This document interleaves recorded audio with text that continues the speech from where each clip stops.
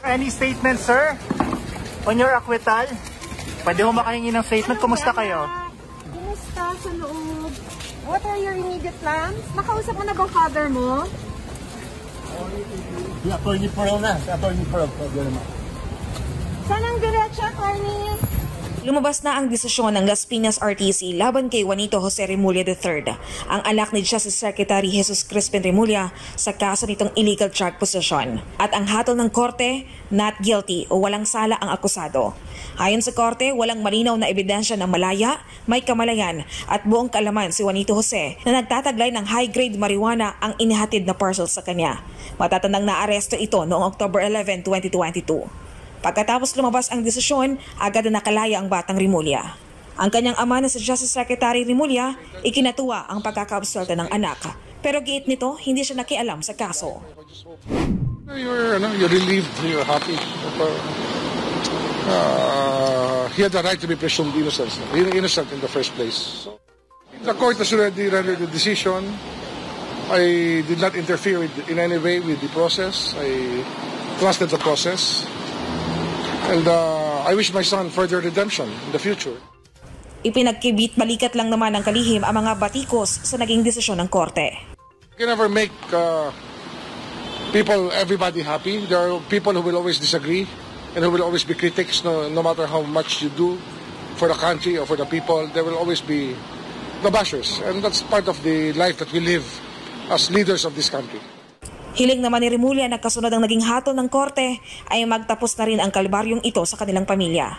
Ayon sa kalihim, simula nang naaresto ang anak ay hindi pa niya ito nakakausap. I haven't talked to him since October. Nung narinig ko yung boses niya, nagsasabi siya sa aking asawa na nagka-problema siya. Sabi ko, kumuha ka ng abogado. That's the only thing I said. Wala na.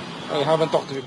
Pinili na rin ni Remulla na huwag na magkomento pa sa PIDEA pero hiling niya sana hindi danasin ng ibang tao ang nangyari sa anak niya. Pag-usapan po natin dito, ito nga pong sinasabi ni General Bantag, naalala kong sabi niya na ah, patay na yan, hindi, hindi nga namin alam na yung si, si Villamor nga ay ah, sangkot dito sa ah, sa Percy, Lapid, Killing. So, sinabi niya yun. Ang sinabi pa niya, yung mga yung yung yung mishap nila or ah, ano nga nila, yung lapses nga nila, ah, siya ang nadidiin. Totoo naman mga kababayan kasi nung sinasabi niya na natandaan po ninyo noong nagkaroon ng ah, ng press con itong si Asurin. Kung pakikinggan po ninyo noon at ma- kung maalala ninyo, parang nagkakaroon ako ng ano na, bakit mo parang tinutwist? Ang twist po kasi, ay parang ah, ang Bucor ang ang sisinisisi. 'Di ba? Tingnan po ninyo mga sinaan kung naalala ninyo yung sinasabi ni Azurin noon na da, sayang dapat nakuha na natin yung middleman. Ah, hindi kasi tayo nagkaroon ng maayos na parang hirap na hirap siyang sabihin. Tapos meron namang initial na coordination. Sana inihiwalay na nila yung mga ganong ganong apelido yung mga Villamor. Yung mga ganon ba na sana, ganong ganon. Talagang tinutwist niya na parang kayo ang may kasalanan. Hindi kayo nag-response ng maayos sa amin. Parang ganon ang lagay. Ano ang dating. From the beginning pa, talagang uh, mukhang bi- inaano na sila si General Bantag. But anyway, dito po sa lapses ng kommun ng ng pulis, hindi po sinasabing lahat na pulis ha, yung pulis lamang po na nag ano na involved dito sa sa investigasyon ng ah, late Percy Lapid. Yun lamang po. Ah, marami pong lapses talaga at ngayon kinalkal ko po, kinalkal ko ito. Totoo ba na sabi ni pa General Bantag, nalaman ko nga yun nga na ah, noong sinabi lang sa akin ni is OJ Boyeng. Yun ang gusto kong malaman kung talagang sinabi yun. Ngayon, hindi ko alam kung paano ko mahahanap yun, pero kinalkal ko, nahanap ko mga kababayan. Ito, ah, pero dito muna tayo sa isa susundan natin para alam para masundan natin yung sinasabi ni General Bantag. Dito muna po tayo sa short lamang ito. Tanggap daw ni Bureau of Corrections Director General Gerald Bantag ang ipinataw sa kanyang suspension. Ayon sa Bucor, patay na ang inmate ng umano'y na umano'y middleman nang nalaman nilang sangkot umano siya sa pagpatay kay Percy Lapid.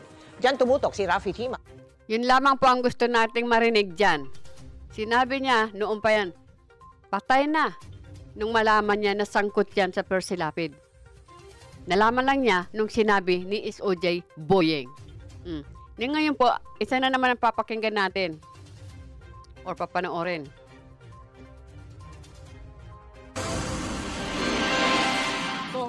Masama ang loob ng suspendidong Director General ng Bucor na si Gerald Bantag sa pagdiin sa kanya sa pagkamatay ng sinasabing middleman sa pagpatay sa broadcaster na si Percy Lapid.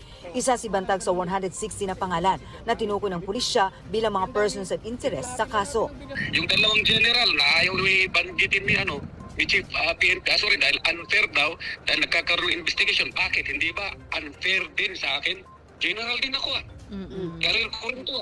Minention ka agad ako ni General Aswin. Yung mga tauhan mo, kinocover mo, sinong mga pangalan. Pero pagdating sa akin, si Bantag, si Bantag, si Bantag. Ang listahan ng mga persons of interest ay base sa mga personalidad na binatikos ni Lapid sa kanyang programa, bagay na binatikos ni Bantag. Kung yan ang pagbabasihan nila na ako ay person of interest, napakababaw. Aso, Dahil walang katotohanan, ginanggit ko. sinusubukan pa namin kunin ang panig ni Azurin, pero ani Bantag, nagkaroon ng kapalpakan ng pulisya na isinisi sa Bucor. Ayun. Yung pa po sinasabi niya, kapalpakan at lapses talaga at yung kulang sa komunikasyon. Ang sinasabi ni Chief PNP, dapat sinecure yan kasi may, mayroon namang coordination. Walang coordination, inuulit ko. Ako ngayon ang tinuturong may kasalanan, Mm. ako ang nadidiin ngayon Opo. sa failure nila to coordinate. Patunay daw ang mga dokumento na ito na Ayan mga kababayan, yung document na yan nagpapatunay na hindi sila nag-audit ah, ah, October ah, 19. October 19. Yang coordination ng pulis. Pero pinipilit nila na ah, may initial coordination sila. Oo nga, 20 ah, ano ah, after after nang namatay yung si ano si Villamor. Kasi ganito sinasabi nila, siguro kasi nasa kanila na si Scorial 2017 pala, ay 2017. October 17 pa lang, nasa kanila na si Scorial. Ang tanong ko mga kababayan, bakit hindi pa po sila umarangkada doon sa Bucor? Silang nakakaalam kung anong sinabi ni Escorial. So bakit tatawag-tawag pa lang sila? At tinanong lang, oh, sinabi na ni Escorial, di ba? Na nandoon sa, ano, sa Bilibid. So anong hiniintay ng pulis? Ngayon, kung tumawag man po kayo, did you give Bucor the full information, reason, bakit kayo hina, bakit nyo hinahanap yung tao na yan? Sana sinabi ninyo yon kasi ang sabi daw po ni Chaklag, ni ah, spokesperson ng Bucor, binigyan sila ng pangalan, wala naman daw talaga sila dyan. Pero natatandaan ninyo na talaga namang paiba-iba yung pangalan, di ba? Meron silang na-secure na isang Villamor. Pero mga kababayan, yung hinahanap nila ay wala nga. Ano naman po ang reason ng Bucor na hindi sila makikipag-cooperate dito ay may namatay nga? Di ba? Ay, um, si bago pa yung mamatay, ano naman po ang dahilan nila na hindi sila makipag-cooperate? Kung sinabi nila na meron itong person na to, ang hinahanap namin kasi mayroon siyang kinalaman sa late Percy Lapid killing. So sigurado, kung nag-usap-usap sila, di siguro tatalima si yung yung Bucor. Eh hindi nga nila alam eh.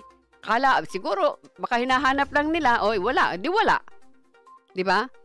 Ngayon pinipilit nila yung coordination ah yung tinatawag nilang initial coordination. Eh, ayan nga oh, dated October 19, a day after namatay na yung si Villamor. Ba't hindi ninyo ina-acknowledge ito?